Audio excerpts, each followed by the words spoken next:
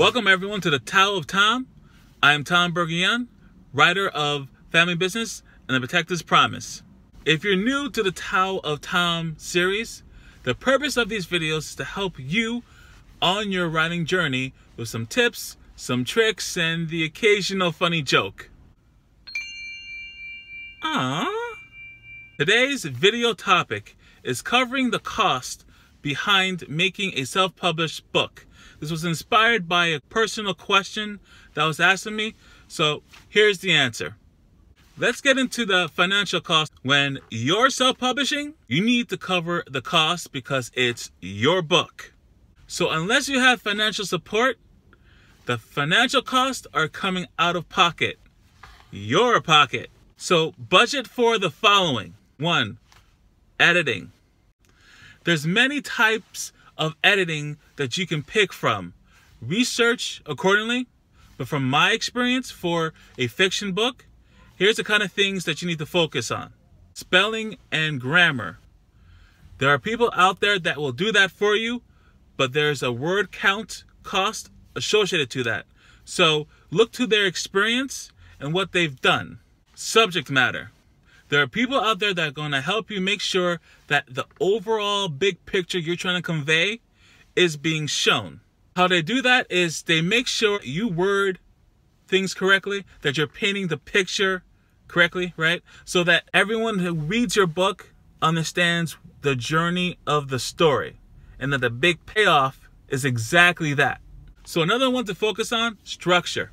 We're talking spacing, formatting, page numbers, all those little fun things to make sure your book looks right. You can get a freelancer or use software. Choose either. Just have another source other than yourself looking at your book. Okay, point two, format. What that entails is what's your book to look like on the inside? Are the pages to be white? It's to be off-white. What's the size of your book? Is it to be large or is it to be small so that someone can carry it. Presentation matters. I use createspace.com because they have some easy step-by-step instructions that you could follow. And because you're doing it, you can pick the options that are for free or there are other websites you can use, but charges will vary. So do your research accordingly. But the one thing you will need to buy is a ISBN number. Now you're looking at me like, what that is, Tom?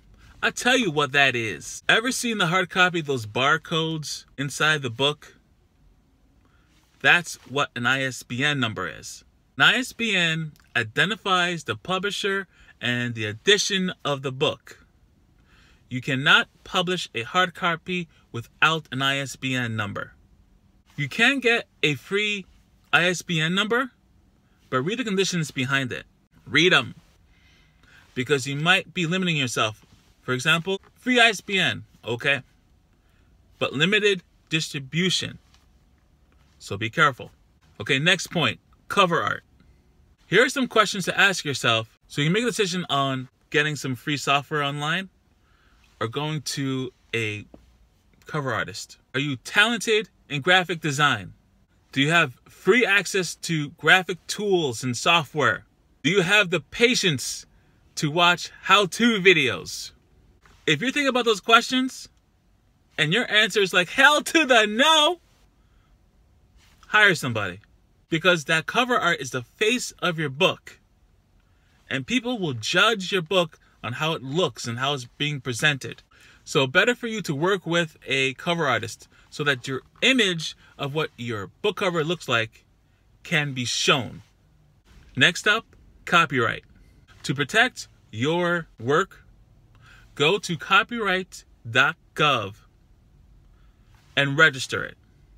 You can tell you're at the right website when you see the Library of Congress. There will be online applications, questions to be answered, and then you can submit your work. If you're like me and you're extremely paranoid, especially when I first started, you're going to do multiple submissions.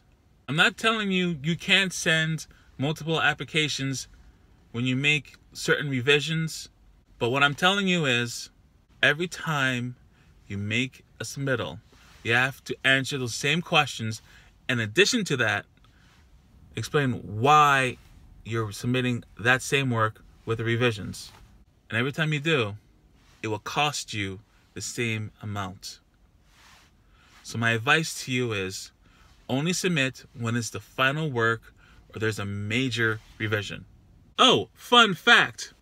If you're thinking about putting an image into the book and then submitting it for copyright, be sure it's a selfie or you can prove that you own it via email.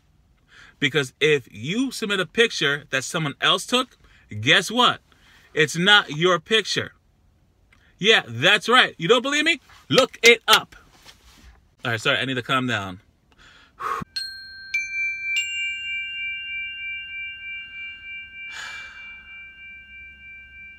Next point printing and shipping.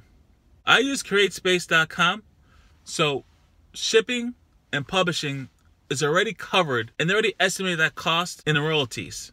But one thing to keep in mind if you want to stockpile your own books, you can ship it to yourself, but at cost.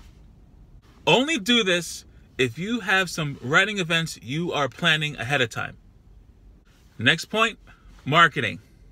Marketing. Man, I really feel like cursing, but I feel like I'm in that show, The Good Place. Holy cow. Freaking frack. They're puss pick. what? Marketing costs are centered around your effort, imagination, and patience. So pick the best strategy that's based on your style and budget. So if you don't budget accordingly, people are going to be wondering why are you eating peanut butter and jelly sandwiches for six months straight? Like, hey, are you on a special diet?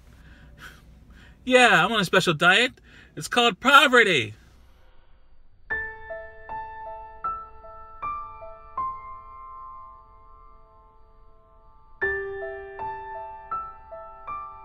That's the end of this video. I hope you guys liked it. Please like and subscribe. And remember, your writing dreams become reality when pen meets paper. I'll see you guys.